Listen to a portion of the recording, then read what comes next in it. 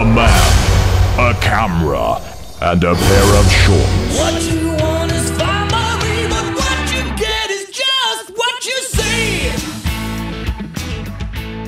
Hip hop don't stop! Breakers, man, what can you say? MCs, hip hop, all of it in one place. Critter put it together. I'm on TV right now, dude. What makes this cool? What makes it cool? Yeah. It's just fun to dance, meet some girlies, have fun. meet some girlies, like uh, those over there. yeah, they're pretty fly. Yeah, well, why don't we go meet them? You wanna go meet Yeah, them? let's go meet them. Okay, let's Show go. me how it's done. All right. You want me to show you how it's done? Yeah, yeah, just say hi. He wanted to meet some girlies. Being someone who wobbles but doesn't fall down, the concept of dancing has always been less than appealing in a public setting for me. I find the seemingly death defying movement of even a country line dance somewhat heady on a normal day. So then, it was with great awe that I witnessed a breakdance 6 on 6. Although it sounds like a drinking challenge, it is actually an arena for battle dancing, a ritualized and peaceful war of contortions and posturing, dancing with the body and body parts in a way taunting not only one's opponents, but indeed nature herself. So, uh, yeah, do your sassy moves. I know you got some. You got some sassy moves. What are they?